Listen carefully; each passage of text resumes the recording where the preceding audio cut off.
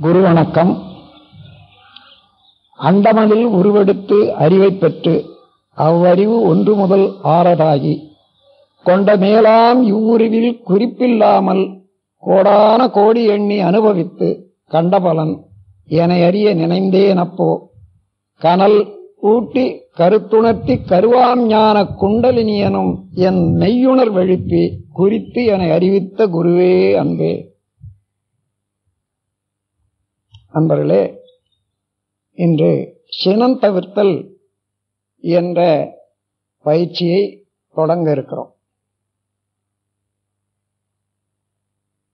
சினம் என்பது ஆறு குணங்கள்ல ஒன்று. அது உணர்ச்சி வயப்பட்ட குணங்கள் மொத்தம் ஆறு.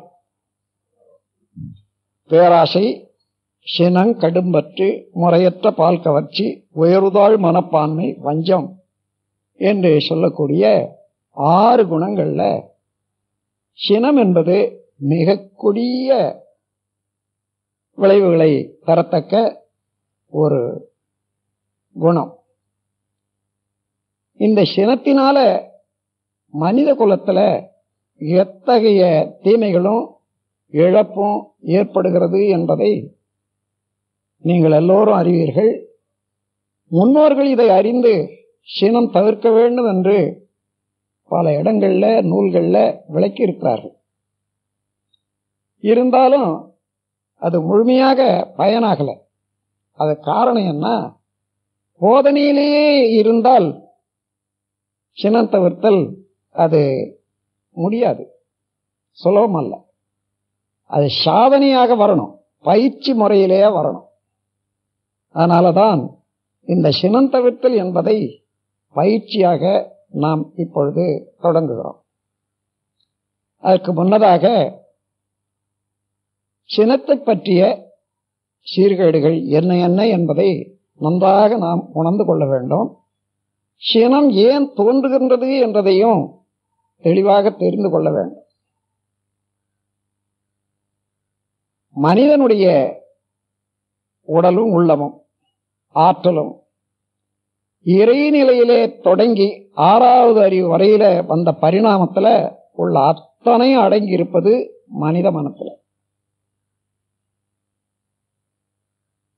அவ்வப்போது இயல்பூக்கமாக அடங்கி இருக்கக்கூடிய அறிவு விளக்கமாகி மனிதன் அந்த விளக்கத்தின் வழியை செயலாக்கி செயலாற்றி வாழ்ந்து கொண்டிருப்பது இது இயற்கை.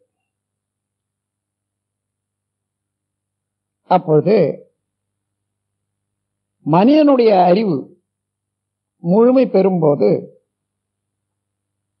தன்னை அறிய வேண்டும் என்ற ஆர்வம் உண்டாகிறது. அப்படி தன்னை அறிய வேண்டிய ஆர்வம் உண்டாகிற போது இறைவனையும் அறிந்து கொள்ளுகிறான். அது வரையில இறைநிலையே பரிணாமத்தினாலே எல்லாமாகி அறிவு வரையில வந்தபோது அந்த அறிவை அறிவதுதான் முழுமையான பேர் அதை நோக்கியேதான் மனிதனுடைய அறிவு வளர்ச்சி பெற்றுக் கொண்டிருக்கிறது. ஆனால் மத்தியிலே புலன்கள் வழியாகவோ அல்லது ஒரு பற்று கோடாகவோ உணர்ச்சி வயப்பட்ட நிலையிலேயோ மனம் நிற்குமேயானால் அந்த நேராக இறைநிலையை நாடி வளர்ந்து கொண்டே இருக்கக்கூடிய பேரார்வம் திசை மாறி பற்பல குணங்களாக மாறுகின்றன. இப்பொழுது இறைநிலையை அறிய வேண்டிய ஆர்வம் தடுக்கப்பட்டு அது செயல்படும் போது பொருள் புகழ் அதிகாரம் புலனின்றம் என்ற நான்கிலே சிக்கிக் கொள்கிறது. ஏனென்றால் இறைநிலையை அறிவதற்காக எழுந்த ஆர்வம் அந்த நிலையை சேரும் வரையிலே அடையும் வரையிலே. அதில் அந்த வேகம் திசை மாறும்போது தன்முனைப்பு என்பதாக ஒரு உணர்ச்சி ஏற்படுகிறது. நேராக போனால் இறை நிலையை நாடி செல்லும். ஆனால் தடுக்கப்பட்டு திசை மாறும்போது தான் தனது என்று இரண்டு எண்ணக்கோடுகளாக பிரிந்து அப்படி தான் தனது என்று சிக்கிக் கொள்ளக்கூடிய ஒரு மனநிலைதான் தன்முனைப்பு. தான் என்பது அதிகாரப்பற்று தனது என்பது பொருள் பற்று இந்த தான் தனது என்ற ஒரு இரண்டு எண்ணக்கோடுகளும் ஒன்று சேர்ந்து செயல்படும் போது மனிதன் வாழ்வில ஆறு குணங்கள் உண்டாகின்றன. அவைதான் முதல்ல பேராசையாக மலர்கின்றது. பேராசையை ஒழுங்குபடுத்தாது விட்டால் அதனுடைய மாற்றம் கடும் பற்றாக மாறுகிறது. அதன் பிறகு ஆ ஆசைப்பட்ட பொருளோ செயலோ இருக்குமேயானால் அதை அடைய முயலும் போது எந்த பொருள் தடுக்கிறதோ எந்த செயல் தடுக்கிறதோ அந்த தடையை நீக்கி அதை அடைய வேண்டும் என்ற ஆர்வம் உண்டாகிற போது மனதிலே உள்ள வேகத்தோடு உடல்ல உள்ள ஆற்றலும் சேர்ந்து தடையை நீக்க முயற்சிக்கிற வேகம்தான் சினமாக மாறுகிறது. இப்பொழுது பேராசையே அதை சீரமைக்காமல் விட்டால் அது அடுத்தபடியாக இன்னொரு உருவம் எடுக்கிற போது கடுப்பற்றாகவும் அதற்கு மேலாக சினமாகவும் மாறுகிறது தெரிகிறது அடுத்தபடியாக ஆண் பெண் நட்பிலே முறை தவறி ஒருவருக்கு ஒருவர் செயலாற்றிக் கொள்ள வேண்டும் என்ற வேகமாக அதே ஆசையே மீறும்போது முறையற்ற பால் கவர்ச்சி எனப்படுகிறது. அதற்கு மேலாக பொருள் அதிகாரம் புகழ் இவற்றில வேறுபாடுகளை காணும் போது பொறுக்க முடியாமல் அது உயர்வுதாழ் மனப்பான்மையாக மாறி மனிதனுக்கு மனிதன் எத்தனையோ வகையில் தீங்கு இழைப்பதை பார்க்கிறோம். கடைசியாக சினம் எழுந்து அதை செயல்படுத்த முடியாமல் தடை ஏற்பட்டு காலம் வரட்டும் அல்லது சூழ்நிலை அமையட்டும் என்று காத்திருக்கக்கூடிய ஒரு மனநிலைதான் வஞ்சம். சினம் இருப்பு கட்டிய நிலைதான் வஞ்சம். ஆகவே பேராசை சினம் கடும்பற்று முறையற்ற பால் கவர்ச்சி உயர்வாழ் மனப்பான்மை வஞ்சம் என்ற ஆறு குணங்களும். ஆசையை சீரமைக்காததனால அந்த இறைநிலையை நாடி எழுந்த ஒரு பேராற்றலே திசை மாறி ஆறு குணங்களாக வருவதை நாம் அறிந்து கொள்வோம். இந்த ஆறு குணங்களோடு மனிதன் செயல் புரிவானேயானால் எப்பொழுதுமே தனக்கும் பிறருக்கும் அதனால நன்மையே பெற முடியாது. துன்பமே தான் வரும். ஆகையினால இந்த ஆறு குணங்களோடு செய்யக்கூடிய செயல்கள் ஐந்து மகா பழிச்செயல்கள் பெரிய பெரும் பழிச்செயல்கள் பஞ்ச மகா பாதகங்கள் என்று சொல்லக்கூடிய பொய் கொலை களவு சூது விபச்சாரம் இவைகளெல்லாம் அத்தகைய உணர்ச்சி வயப்பட்ட நிலையிலே தான் எழுந்திருக்கின்றன. இந்த ஆறு குணங்களால பஞ்சமகா பாதகங்கள். அப்போ இந்த பாவங்களை மனிதன் செய்து கொண்டே இருக்கிற போது தனக்கும் பிறருக்கும் எழக்கூடிய விளைவுகளை பாருங்கள்.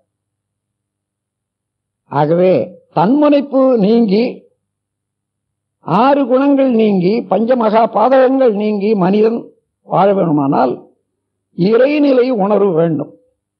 இறைநிலை உணர்வு பெற்றால் உணர்ந்து விட்டால் பேராசை இல்லை. பேராசை இல்லையானால் மற்ற குணங்களும் இல்லை. இந்த பேராசை சினம் கடும்பற்று முறையற்ற பால் கவர்ச்சி உயர்வாழ் மனப்பான்மை மஞ்சம் என்ற ஆறு குணங்களும் ஆங்கிலத்தில் greed anger miserliness immoral sexual passion vanity and vengeance என்று சொல்வார். இந்த ஆறு குணங்களில் வடநூலார் காமம் குரோதம் லோபம் மோகம் மதம் மாச்சரியம் என்று சொல்வார். இந்த ஆறு குணங்களையும் மனிதன் தாண்டி வந்தால்தான் அறிவு அமைதியாக இருக்கும் முழுமை பெறும் முக்தி என்ற நிலையை பெற முடியும். எனவே இந்த உணர்ச்சி வயப்பட்ட நிலையில இருந்து மனிதன் மாறுபட வேண்டும் வேறுபட வேண்டும் அமைதி பெற வேண்டும். ஒவ்வொருவருடைய வாழ்க்கையிலேயும் இந்த ஆறு குணங்கள் சமப்படுத்த வேண்டும். அதற்கு என்ன விழிப்பு நிலை வேண்டும் இறை உணர்வு வேண்டும். இப்போ இறை உணர்வு பெற்று ஆறு குணங்களை நீக்கிக் கொள்வதா? ஆறு குணங்களை சமப்படுத்திக் கொண்டால் இறைநிலை உண்டாகும் என்பது தெரிந்து கொள்வதா? என்றால் இந்த களங்கம் இருக்கிற வரையில ஆறு குணங்கள் என்ற களங்கம் இருக்கிற வரையில இறைநிலை கிட்டாது. இறைநிலை விளக்கும் வராது. வந்தாலும் நிலைக்காது. ஆகவே இந்த ஆறு குணங்களை நாம் ஒவ்வொருவரும் சரிப்படுத்திக் கொள்ள வேண்டும் சமப்படுத்திக் கொள்ள வேண்டும். இந்த ஆறு குணங்களில் சினம் என்பது மிக கடுமையான குணம். உணர்ச்சி வயப்பட்ட மனநிலை. இந்த உணர்ச்சி வயப்பட்ட மனநிலைகளில் மனிதனுடைய ஜீவகாந்த ஆற்றலானது மனச்சுவல் அதிகமாக ஏற்பட செய்யும். அதாவது இருபதுல இருந்து நாற்பது வரையில ஒரு செகண்டுக்கு ஓடுமையானால் சுழலுமையானால் உணர்ச்சி வயப்பட்ட நிலை. சாதாரணமாக பதினாலில் இருந்து நாற்பது வரையில மனிதன் விழிப்பு நிலையில இருக்கிற போது மனச்சுழல் அலை அந்த நிலையில் இருக்கும். அதை பேட்டாவே என்று சொல்வார். ஆனால் உணர்ச்சி வயப்பட்ட நிலையில் இருபது இருபத்தைந்து முப்பது முப்பத்தைந்து நாற்பது வரையில கூட போகும். ஆனால் நாற்பது வரையில மனச்சுழல் அதிகரித்தால் மனிதனிடத்துல அங்கு ஏற்படக்கூடிய சுழல்னால உடல்ல உள்ள எல்லா செல்களும் பாதிக்கப்படுவதோடு கருமையும் கூட ஷார்ட் சர்க்கியூட் மின்குறுக்கு ஏற்பட்டு சிதைந்து விடும் மரணம் ஏற்படும். அதனால உணர்ச்சி வயப்பட்ட மனநிலைகளில் சிந்திக்க முடியாது. இந்த காரணங்களால உணர்ச்சி வயப்பட்ட நிலைகளிலிருந்து நாம் விடுபட வேண்டும். முக்கியமாக சினத்திலே இருந்து நம்மை பாதுகாத்துக் கொள்ள வேண்டும். சினம் தவிர்க்க வேண்டும். இந்த சினம் தவிர்க்க வேண்டும் என்று என்பது அதனுடைய ஒரு குறைபாடு விளைவுகள் இவைகளெல்லாம் மனதில் நன்றாக தெரிந்த பிறகு திட்டமிட்ட முறையில் வாழ்க்கை நடத்தி சிரமம் தவிர்க்க வேண்டும். மனிதன் என்ற ஒரு பலகீனம் உண்டு. என்னென்றால் விளக்கத்துக்கும் பழக்கத்துக்கும் இடையே போராடி கொண்டிருக்கக்கூடிய ஒரு உயிரினம் தான் மனிதன். விளக்கத்தை மறக்க மாட்டான் பழக்கத்தை விடவும் மாட்டான். இந்த இரண்டுக்கு இடையே இருந்து கொண்டு தத்தளித்துக் கொண்டு இருப்பான் பழக்கத்தை விட வேண்டும் என்று நினைப்பான் விளக்க வழியே வாழ வேண்டும் என்று நினைப்பான் ஆனால் பழக்கத்தை விடமாட்டான். விளக்கத்தையும் மறக்க மாட்டான். அதற்கு என்ன செய்ய வேண்டும்? நல்ல பதிவு கருமையத்திலேயே ஆழமான பதிவாக விளக்கம் வர வேண்டும். அதை ஒட்டி செயல் செய்து அந்த செயல் மூலமாக அந்த விளக்கம் பதிவாக வேண்டும். அதற்கு என்ன செய்யலாம் என்று பாருங்க இந்த உலகம் தோன்றி இன்று வரையில ஏற்பட்ட சீரழிவு அத்தனையும் சரித்திரபூர்வமான சீரழிவுகள் அத்தனையும் எண்ணி பாருங்க. அவ்வளவு சினம் என்ற ஒரு கொடும் உணர்வுனால ஏற்பட்டவைதான். எல்லா சண்டைகளும் எல்லா சீரழிவும் சினத்தினாலே ஏற்பட்டவைதான் என்பது நன்றாக தெரியும். அது மாத்திரமல்ல ஒவ்வொரு குடும்பத்திலையும் ஒவ்வொரு மனிதனிடத்திலேயும். சினம் எழுந்து அது இயங்கி செய்த ஒரு கொடுமை. அதனால் ஏற்பட்ட பதிவுகள் அந்த பதிவிலே இருந்து பிறக்கக்கூடிய குழந்தைகள் அவ்வளவும் சீரழிந்த நிலையிலே தான் இருப்பதை பார்க்கிறோம். அதனால் இந்த சினத்தை போக்கி அமைதியான வாழ்வு பெற வேண்டும் என்பது அவசியம். அன்பர்களே அதற்கு சினம் என்பது எத்தகைய கொடியது என்பதை நமது அனுபவபூர்வமாக தினசரி வாழ்க்கையில அதை உணர வேண்டும். சினம் எழும்போது என்ன ஆகிறது? உடல் மனம் என்று கவனியுங்க வள்ளுவ பெருமான் கூறியிருக்கிறார் சினமெனும் சேர்ந்தாரை கொல்லி இனமெனும் ஏமப்புடையை சுடும் என்று. சினம் என்பதை அது யாரை சேர்கிறதோ அவர்களை அழித்துவிடும். அது மாத்திரமல்ல அவர்களோடு நட்பாக உடையவர்களுடைய மனதையும் கெடுத்து வருந்த செய்துவிடும் என்பது. இந்த இரண்டையும் நீங்கள் சிந்தனையினாலே ஆராய்ந்து உங்களுடைய வாழ்க்கையிலேயே அதை பலப்படுத்தும் ஒரு பயிற்சியாக நீங்கள் செய்து கொள்ள வேண்டியது அவசியம். அன்பர்களே இந்த சிந்தனையை நாம் கொள்ளும்போது சினம் எழும்போது என்ன நடக்கிறது என்று பாருங்க. சினம் என்பது மனச்சோல் அலையை அதிகப்படுத்தும் ஒரு நிகழ்ச்சி. எந்த உணர்ச்சியானாலும் சரி.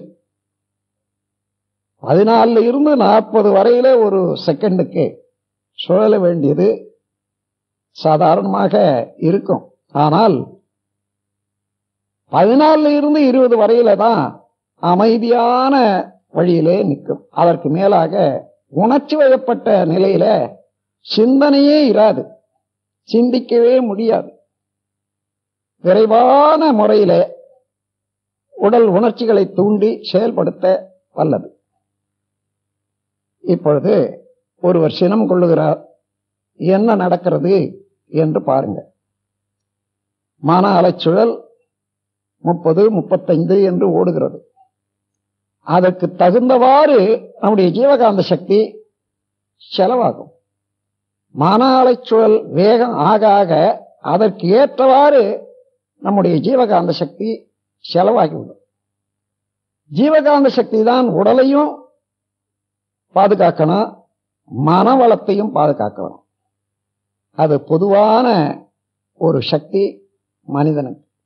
ஜீவகாந்த சக்தி இழந்து விட்டால் உடல் நலமோ மனவளமோ நிலைக்க முடியாது. அப்போ என்ன ஆகிறது? இயற்கையாகவே அந்த ஜீவகாந்த சக்தி அளவு குறையும் போது அதை தானாகவே சரிப்படுத்தக்கூடியது இயற்கையிலே ஒரு ஆற்றல் இருக்கிறது. Nature is automatically adjustable balance இயற்கை தானாகவே தன்னை சரிப்படுத்திக் கொள்ளக்கூடிய ஒரு சீர்கோள். அந்த முறையில ஒரு மனிதனிடத்துல சினத்தினால ஜீவகாந்த சக்தி குறைந்து விட்டால் அதை உடனே சமப்படுத்த உடலிலே உள்ள ஆற்றல் தொடங்குகிறது. ஜீவகாந்த சக்தி எப்படி உற்பத்தி ஆகிறது என்று சொன்னால் உடலிலே உள்ள சூக்ம சரீரம் உயிர் சக்தி அந்த ஒவ்வொரு துகளும் விரைவாக இயங்கிக் கொண்டிருக்கிற போது அதில் இருந்து எழக்கூடிய அலைதான் ஜீவகாந்த சக்தியாக இருக்கிறது. எவ்வளவு உயிராற்றல் இருக்கிறதோ உயிர் சக்தி துகள்கள் உள்ளனவோ அந்த அளவு ஜீவகாந்த சக்தி உற்பத்தி ஆகிக்கொண்டே இருக்கும். அதனுடைய சுழல்ல இப்பொழுது குறைந்த ஜீவகாந்த சக்தி மீண்டும் புதுப்பிக்கப்பட வேண்டுமானால் என்ன ஆகணும்? அந்த சுழல் விரைவு அதிகமாகணும்.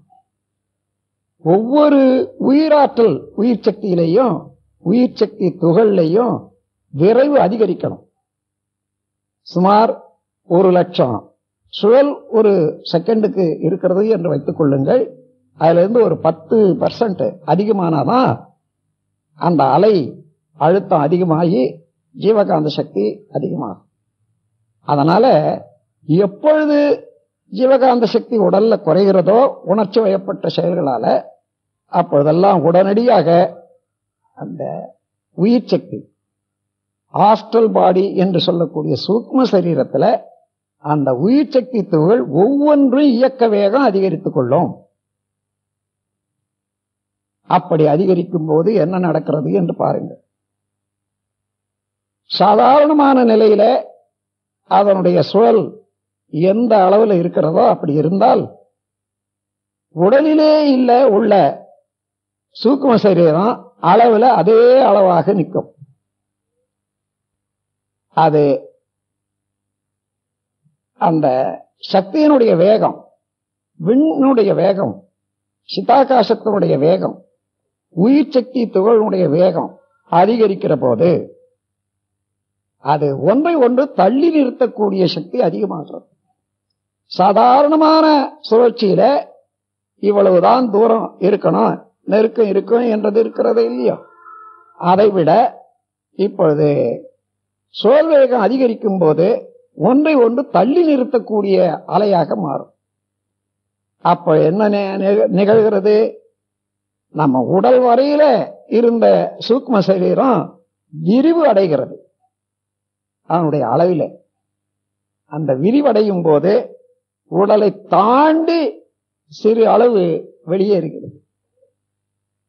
அப்படி வெளியேறக்கூடிய சூக்ம சரீரம் உயிர் சக்தி மீண்டும் உடலுக்கு திரும்பாது. கலந்த பால் முளை புகா கடைந்த வெண்ணை மோர் புகா உடைந்த சங்கி நோசையும் உயிர்களும் உடற்புகா என்று சித்தர்கள் பாடியிருக்கிறார். பாலை கறந்துட்டோம் அதே முளைக்காம்பின் வழியாக அந்த பாலை உள்ளே செலுத்த முடியுமா என்றால் முடியாது. சங்கிலே இருந்த ஓசை வருகிறது. அந்த ஓசையை சங்கிலே ஊட்ட முடியுமா என்றால் முடியாது. அதே போல வெளியேறிய உயிர் உடப்புகாது இப்பொழுது என்ன ஆச்சு?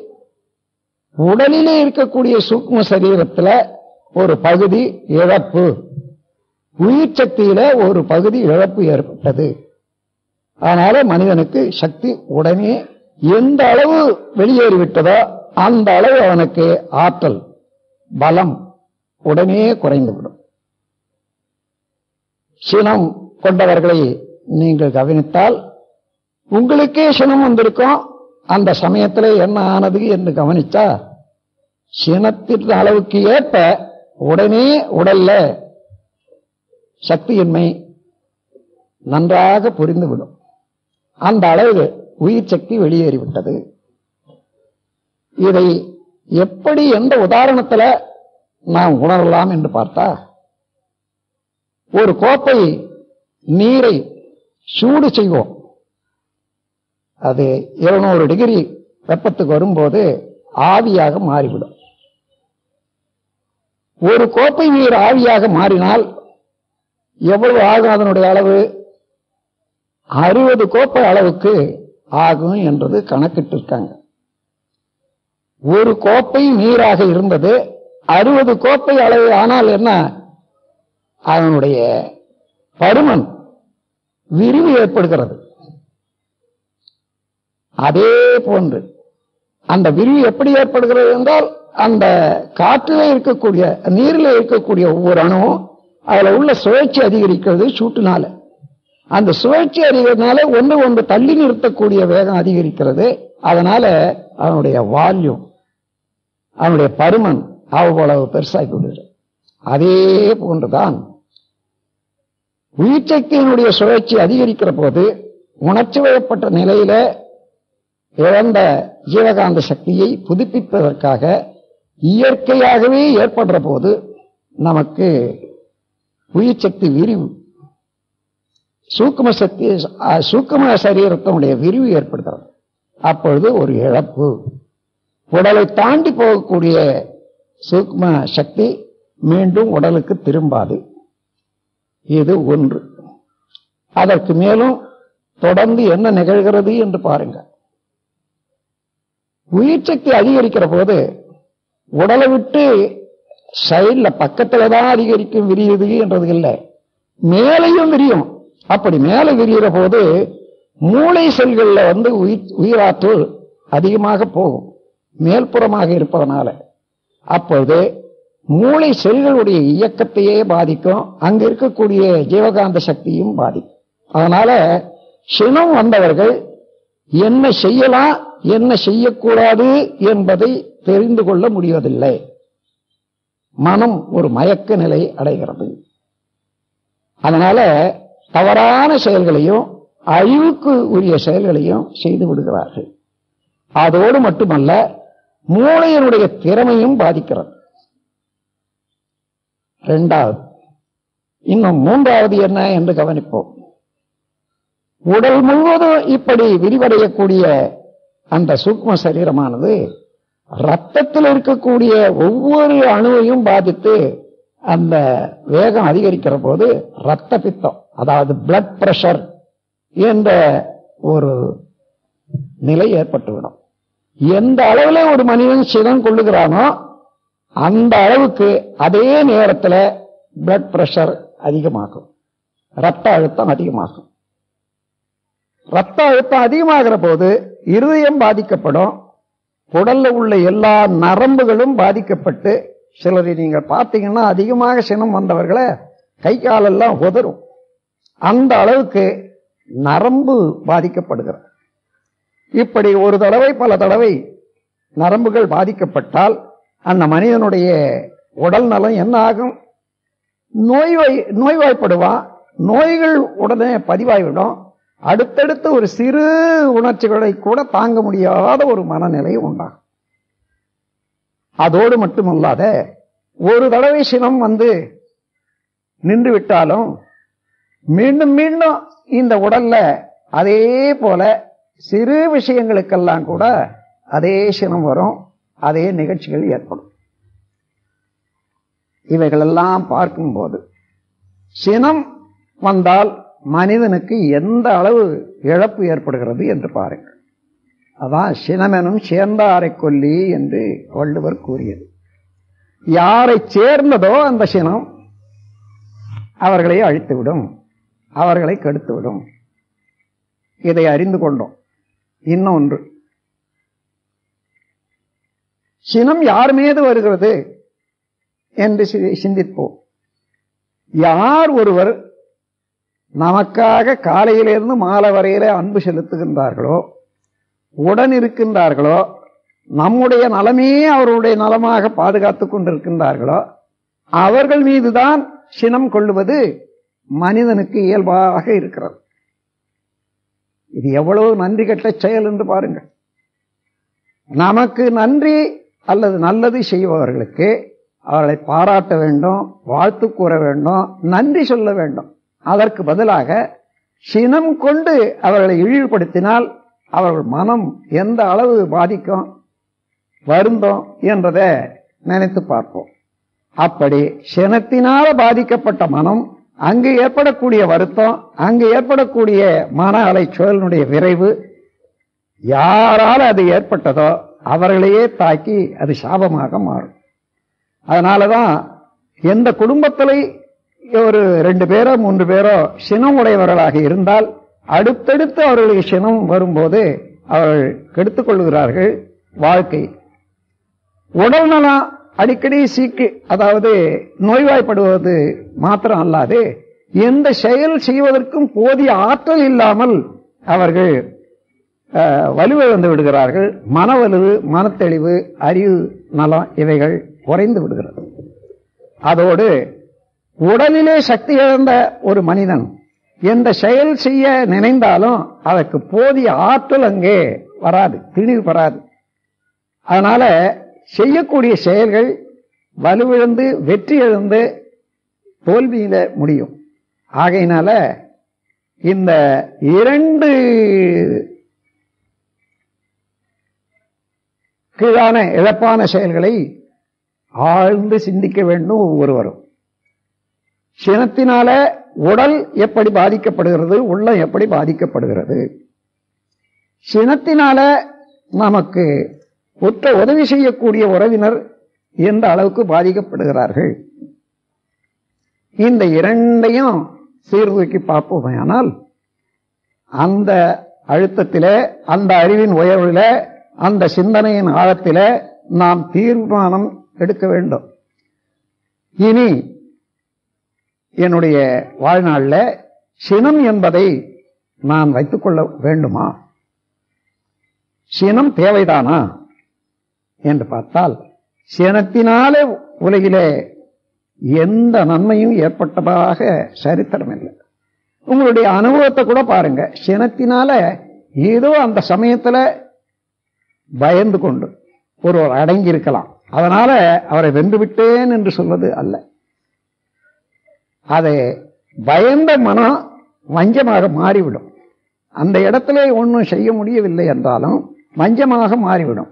அவன் எதிர்த்து உங்களுக்கு தீங்கு செய்ய முடியவில்லை என்றாலும் அந்த எண்ணத்தை யாராலே செயல்படுத்த முடியுமோ அவர்கள் மூலமாக காலத்தால அதே தீய செயல்கள் நமக்கு வந்து சேரும். ஆகவே எந்த வகையில பார்த்தாலும் சினம் ஒரு மனிதனுக்கு தேவையற்றது அழிவு செய்யக்கூடியது கேடு செய்யக்கூடியது வாழ்வை கெடுக்கக்கூடியது உடல் நலம் கெடுக்கக்கூடியது. ஆகையினால சினத்தை தவிர்க்க வேண்டும். இந்த முடிவுதான் நாம் ஆழ்ந்து சிந்தித்தால் நமக்கு கிடைக்கக்கூடியது. சிந்தனை என்பது மனம் அலையாக புலன்கள் மூலமாகவோ வெளி உலகத்தை பற்றியோ உணரும்.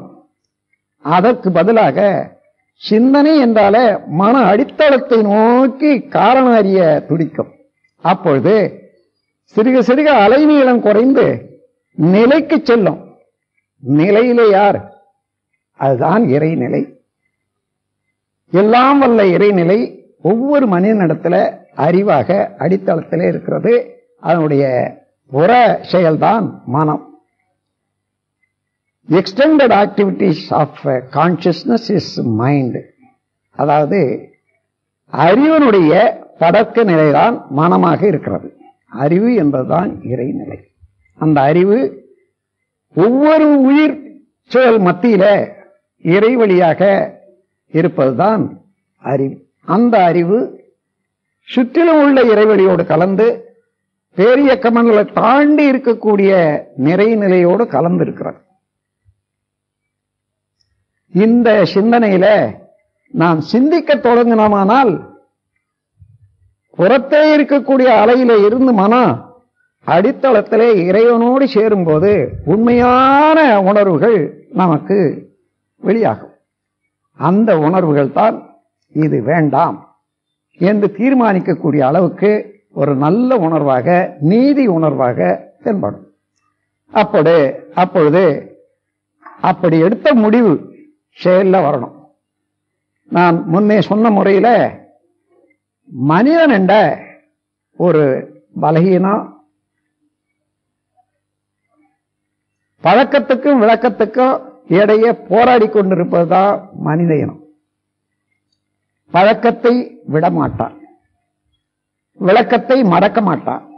இந்த இரண்டுக்கும் இடையே போராடி கொண்டிருப்பான். அதே போல நாம் சினத்தை விட வேண்டும் என்று தீர்மானித்து விட்டோம். ஆனா பழக்கத்தினாலே உடல்ல உள்ள ஒவ்வொரு செல்லும் அடிக்கடி அதே வேகம் கொண்டு செயலாற்ற துடித்து அந்த செயலாற்றிய பதிவுகளும் அந்த அணு அடுக்கு நிலையங்களில் உள்ள சீரும் அமைந்திருப்பதனால அதே நிகழ்ச்சியை நினைக்கும் போதும் அல்லது பார்க்கும் போதும் மீண்டும் சினம் வரும். அதற்காக உரிய முறையில் ஒத்த முறையில் அதுக்கு பயிற்சி செய்ய வேண்டும். பயிற்சியின் மூலமாகத்தான் இந்த சினத்தை அடக்கி நாம் அமைதி பெற வேண்டுமே அல்லாது பயிற்சி இல்லாத முடியாது. நல்ல பூட்டு இருந்தாலும் சாவி ஒத்த சாவியை போட்டு தான் திறக்க வேண்டும். அதே போல பயிற்சியின் மூலமாகத்தான் நம்முடைய குணங்களை அறிவாட்சி தரத்தை உயர்த்த முடியும் மாற்ற முடியும். அந்த பயிற்சி இப்போது நான் சொல்லுகிறேன். ஒரு காகிதம் பேப்பர் துண்டு எடுத்துக்கொள்ளுங்க அல்லது உங்களுடைய டைரியை எடுத்துக்கொள்ளுங்க. யார் யார் மீது நான் சினம் கொள்ளுகிறேன் தினசரி வாழ்க்கையில என்று சிந்தனை செய்யுங்கள். ஒவ்வொன்றாக ஒவ்வொருவர் முகமாக வரும். இன்னார் மீது இன்னார் மீது இன்னார் மீது. அதிகமாக நெருக்கமாக உள்ளவர்களாண்ட ஒரு பத்து பன்னிரெண்டு பேர் இருப்பாங்க. அடிக்கடி சினம் உண்டாகிறது தெரியும். இது வெளியில போகும்போது மற்றவர்களோட கூடும்போது இங்க இருக்கக்கூடிய பழக்கத்தை ஒட்டிய சினம் தான் அங்க வருமே தவிர அது புதிதல்ல. ஆனால் யார் மீது அடிக்கடி நான் சினம் கொள்ளுகிறேன் என்று ஆராய்ந்து பார்த்தால் ஒவ்வொருவர் ம- முகமும் நன்றாக வரும். எழுதி கொள்ள வேண்டியது. அவர்களுடைய பெயரை ஒவ்வொருவராக எழுதி கொள்ளுங்கள். எழுதிவிட்ட பிறகு பனிரெண்டு பெயர்கள் வந்தன. மீண்டும் அதை ஆராயணும். இதுல யார் நம்முடைய வாழ்க்கைக்கு முக்கியமானவர்கள் யார் மீது அடிக்கடி சினம் கொள்ளுகிறேன் என்பது மீண்டும் ஆராய வேணும். சீரியலைஸ் பண்றது. அதாவது ஒன்று ரெண்டு என்று நம்பர் கொடுக்கறதுல இது யார் முக்கியமானவர்கள் என்று அந்த முறையிலே இந்த பனிரெண்டு பெயர்களையும் ஒன்று இரண்டு மூன்று என்று பனிரெண்டு குறிப்பு வச்சுக்கணுங்க. இப்போ மேலே இருக்கக்கூடிய ஒரு ஆளை எடுத்துக்கொண்டுதான் பயிற்சி தொடங்கணும். நான் உலகம் முழுவதும் சுத்தி வந்திருக்க. உலகிலே உள்ள எல்லா மக்கள் எல்லா நாட்டு மக்களோடும் எனக்கு தொடர்பு இருக்கிறது. இந்த பயிற்சி அளித்ததன் மூலமாக. சில நாடுகளுக்கு போகவில்லையானாலும் சரி அந்த நாட்டு மக்களோடு நான் தொடர்பு கொண்டிருக்கிறேன். அவர்களுக்கு இந்த பயிற்சியும் அளித்திருக்கிறேன். நான் எடுத்த ஸ்டாட்டிஸ்டிக் அத குறிப்பு என்ன என்றா அப்படி முன்ன அவர்களுடைய யார் பேர்ல சினம் வர்றது என்று எழுதிவிட்ட பிறகு அதன் பிறகு சீரியலைஸ் பண்றாங்களே. அதாவது நம்பர் வாரியாக ஒன்று ரெண்டு என்று போடுறாங்களே. அது போட்ட பிறகு கொஞ்சம் தயவு செய்து அந்த லிஸ்ட்டை காண்பீங்கன்னு சொல்லுவேன். நீங்க எழுதியிருக்கிறது. அந்த முன்ன மேல இருக்கிறது பாருங்க. அது ஆணா இருந்தாலும் சரி பெண்ணா இருந்தாலும் சரி மேல எழுதியிருக்காங்களே அந்த பேரு யாருன்னு கேட்டா என்னுடைய கணவருங்க என்னுடைய மனைவிங்க. அடுத்தடுத்து சினம் வருவதும் அதனால மனம் உடல் இவைகளெல்லாம் பாழ்படுவதும் முக்கியமாக வாழ்க்கை துணைவர் மீது தான் எல்லாருக்கும் அதிகமாக சினம் வருகிறது. நூற்றுக்கு தொண்ணூறு குடும்பங்கள்ல இதுதான் நடக்கும். இப்போ இந்த முறையை மனதில் வச்சுக்கொள்ளுங்க. ஒரு நாள் உட்காரணும். காலையில மறுநாள் காலையிலே உட்கார்ந்து யார் முதல்ல நிக்கிறாங்களோ அவர்களை மனதால நினைக்க வேண்டியது. நான் முதல்ல அவர்களுக்கு வாழ்த்து கூறிவிட்டு வாழ்க வளமுடன். உடல் நலம் நீளாயுள் நிறை செல்வம் உயர்ப்புகள் விஞ்ஞானம் ஓங்கி வாழ்க என்று வாழ்த்தும் போது உயிர் கலப்பு பெறுகிறோம். ஜீவகாந்த ஆற்றல் மூலமாக. மீண்டும் அவர்கள் வாழ்க்கையிலே உங்கள் வாழ்க்கையிலே தொடர்பு கொண்ட நாள் அன்னில இருந்து இந்த வரையில அவர்களால் ஏற்பட்ட நன்மையும் மகிழ்ச்சியும் ஒவ்வொன்றாக சிந்தித்து பார்க்கணும். அப்போதுதான் விளங்கும். ஒவ்வொரு நாளும் எவ்வளவோ நன்மையை செய்திருக்காங்க. எவ்வளவோ மகிழ்ச்சிக்கு உரிய செயல்கள் நான் அனுபவிச்சிருக்கேன் இத்தகைய ஒரு பேருள்ளத்தை சிறு சிறு விஷயங்களுக்காக சினம் கொண்டு வருந்த செய்வது நீதி அல்ல. இனி நான் அதை செய்யவே மாட்டேன். அதனால சிறிது இழப்பு இருந்தாலும் சரி பரவாயில்லை அதை விட்டு விடுவேன். நான் சினம் கொள்ள மாட்டேன். இந்த அம்மையாரோடு அல்லது இந்த கணவரோடு. நான் சினம் கொள்ளுவதே இல்லை கொள்ளவே மாட்டேன். எந்த நிலையிலும் சரி நான் அதை விட்டு கொடுத்து சினம் கொள்ளாது இருக்க நான் பார்த்துக்கொள்வேன் என்று உறுதிப்பாடு எடுத்துக்கொள்ளணும் உறுதிப்பாடு என்பது அந்த சிந்தனையின் ஆழத்திலே இருக்கக்கூடிய கருமையம். அந்த கருமையத்திலேயே நேரடியாக பதிவாகிறது. அந்த பதிவு உடல் முழுவதும் உள்ள எல்லா செல்களுக்கும் பாயும். அத்தகைய முறையில பதிவு செய்து கொண்டு எந்த எந்த நிலையில எந்த காரணத்தினால எந்த சமயத்துல எந்த செயல்ல நான் சினம் கொள்வேன் இவர்களோட என்று சிந்தனை செய்து பாருங்க நல்லா தெரியும். இன்னென்ன செயல்ல தான் நான் சினம் கொள்வது வழக்கம்.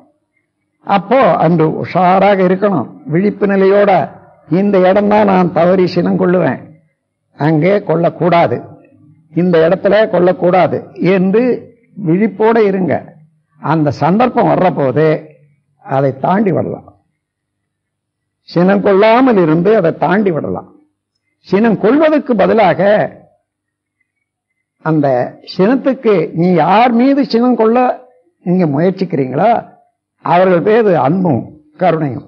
இதுவரையில் இந்த இடத்தைத்தான் நான் வந்து தவற விட்டுட்டேன் இவர்களுக்கு என்னுடைய அன்பு அன்பு காட்டுறேன்.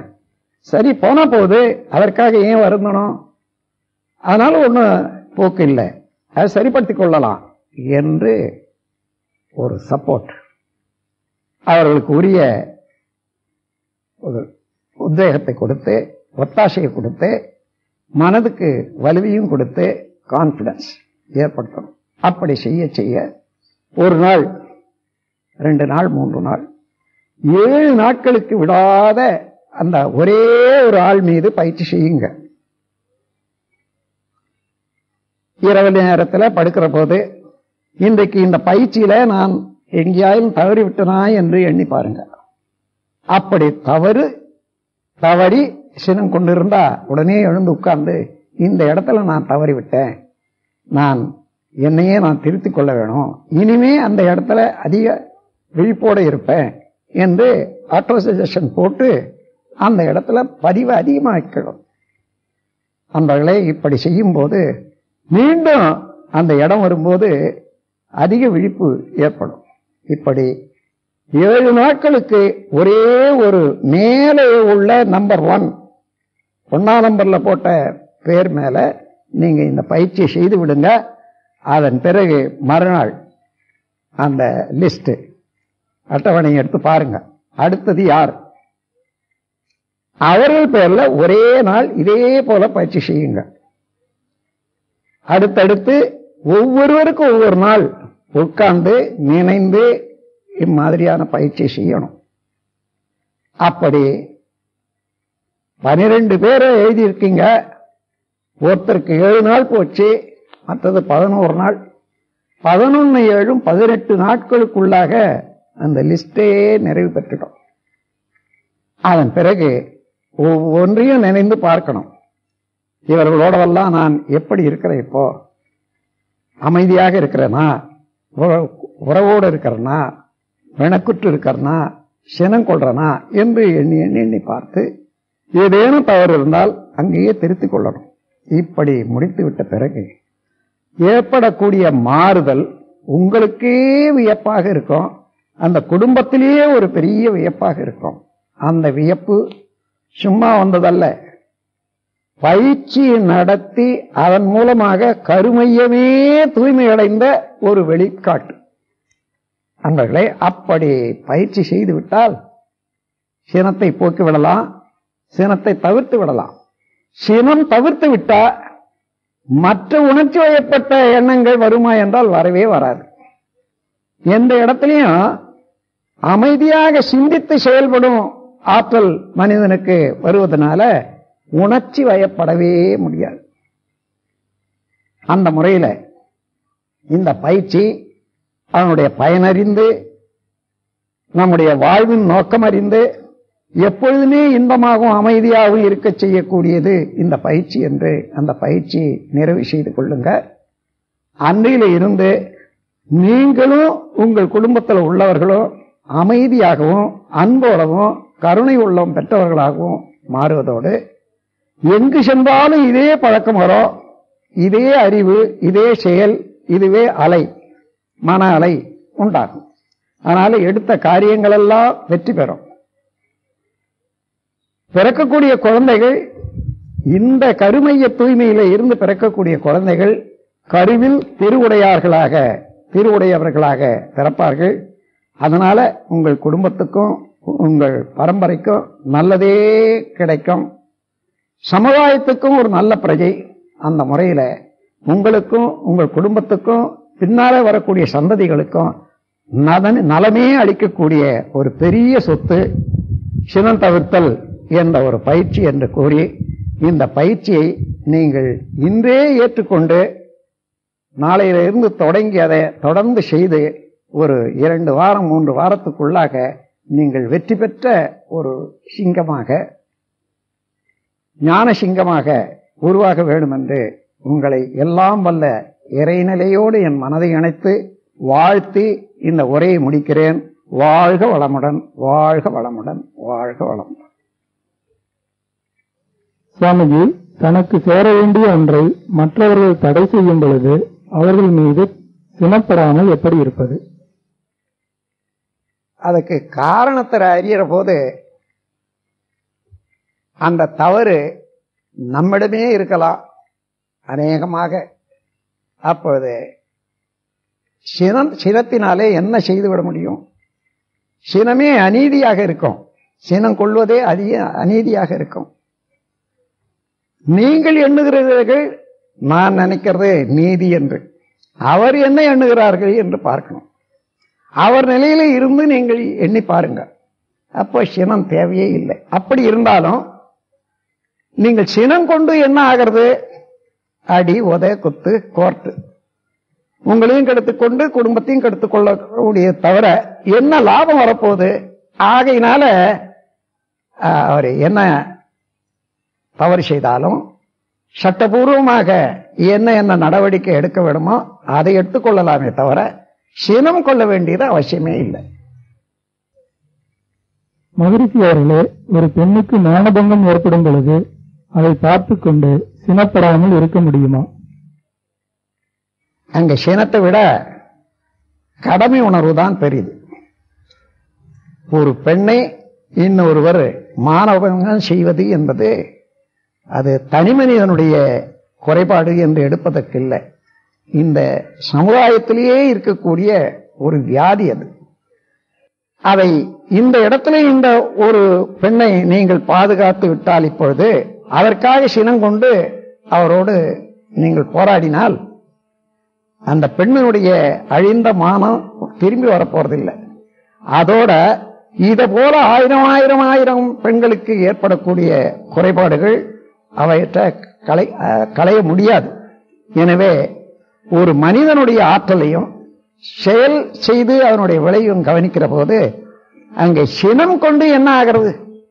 சினம் கொள்ளாம சட்டபூர்வமாக உள்ள நடவடிக்கை சமுதாய அமைப்பில் உள்ள எந்த எந்த நடவடிக்கையோ அதுதான் எடுப்பது கடமையை தவிர சினம் கொள்ள வேண்டியது அவசியமே இல்லை. ஒரு ஜட்ஜ் சமுதாய சார்பில் ஒரு மனிதனுக்கு ஆறு மாதம் தண்டனை கொடுக்கிறார். சினம் கொண்டா அந்த தண்டனை கொடுக்கிறாருன்னு பாருங்க. அதே போல இன்னொரு ஜட்ஜு ஒரு மனிதனுக்கு மரண தண்டனையே கொடுக்கிறார். அவருக்கு சினம் கொண்டா அந்த மரண மரண தண்டனை கொடுக்கிறார். இல்லை. இதெல்லாம் கடமை ஒவ்வொருவருக்கும் உள்ள கடமையை அவர் நிறைவேற்ற வேண்டும் என்ற சிந்தனையோடு செய்யக்கூடிய செயல் தவிர அங்கே சினம் கொண்டுதான் அதை செய்ய வேண்டும் என்பது இல்லை.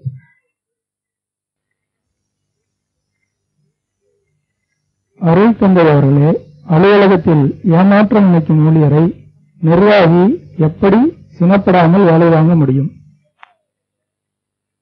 அவனை ஊழியர்னு எண்ணினதே தவறு. அவனும் நம்முடைய நம்ம போன்ற ஒரு மனிதன்தான்.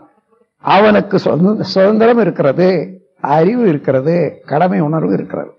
தவறிவிட்டால் அதே சட்டத்தின் கீழே அந்த காரியாலயத்தினுடைய நிர்வாகத்தின் கீழே என்ன என்ன முறையில அவனை திருத்தலாம் அல்லது அவனை வெளியேற்றலாம் என்று தெரிந்து அந்த முறையைத்தான் பாதுகாக்க வேண்டுமே தவிர சினம் கொண்டு என்ன பிரயோஜனம்? சினம் கொண்டா சரியாயிடுமா? நீங்கள் சினம் கொள்ற போது அவனும் சினம் கொள்வான். அதனுடைய விளைவுகள் என்ன என்னன்னு பாருங்க. அதுல சினம் கொள்ளாமலே இருந்து அவனுக்கு எந்த முறையில அதை திருத்த வேணுமோ அது திருத்துவதுதான் கடமை. நண்பர்களே அமைதியாக இருந்து இந்த சிந்தனையை சிந்தனையில கலந்து கொண்டதற்கு என்னுடைய மகிழ்ச்சியை தெரிவிக்கிறேன். ஆனால் இந்த காட்சி உங்களுக்கு ஆயுள் முழுவதும் மறையாமல் இருக்க வேண்டும். எந்த செயலிலும் எந்த நேரத்திலும் இந்த எண்ணம் இந்த அறிவு உங்களுக்கு வெளிச்ச உள் வெளிச்சமாக இருந்து கொண்டு வழிநடத்த வேணும் என்று எல்லாம் வல்ல இறைவனை நோக்கி வேண்டி பிரார்த்தனை செய்து கொண்டு உங்களையும் வாழ்த்தி என்னுடைய உரையை முடிக்கிறேன். வாழ்க வளமுடன்.